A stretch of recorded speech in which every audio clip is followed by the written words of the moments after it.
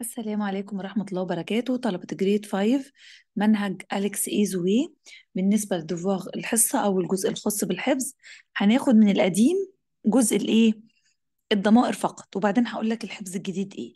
يبقى من القديم هناخد الضمائر الشخصية je tu il elle nous vous il elle وهنبدأ على طول كده نتعود إن جنب il و elle بيكون موجود الضمير مين؟ الضمير on اللي شرحناه المرة اللي فاتت.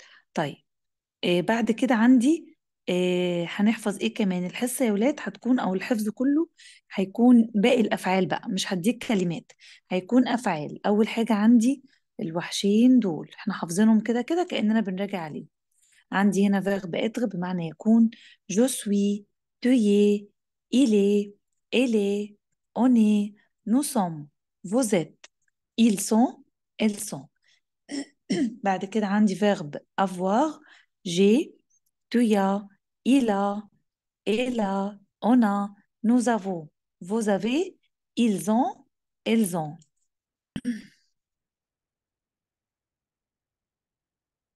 وبعد كده عندي جزء الفيرب الأفعال عندي هنا boire بمعنى إيه يشرب je bois tu bois il boit elle boit on boit.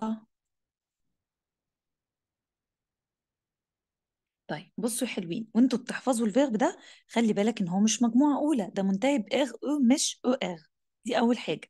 بتلاقي بص كده عشان تسهل على نفسك الحفظ هتلاقي ال je وال tu أخدوا زي بعض.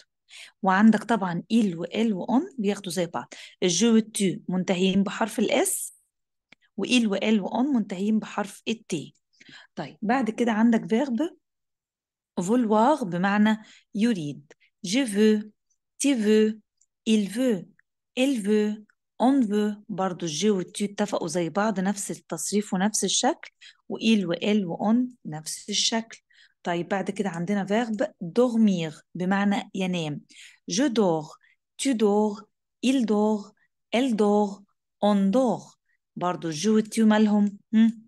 اتفقوا وإل وإل وأون اتفقوا جو والتي زي بعض وإل وإل وأون زي بعض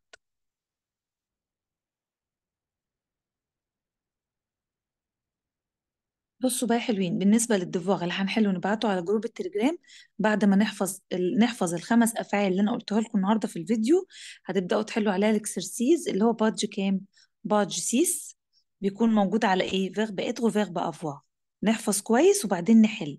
وبعد كده عندنا البادج اللي بعدها page sept هتكون على التصريفات الأفعال اللي إحنا برضو إيه لسه قاريينها.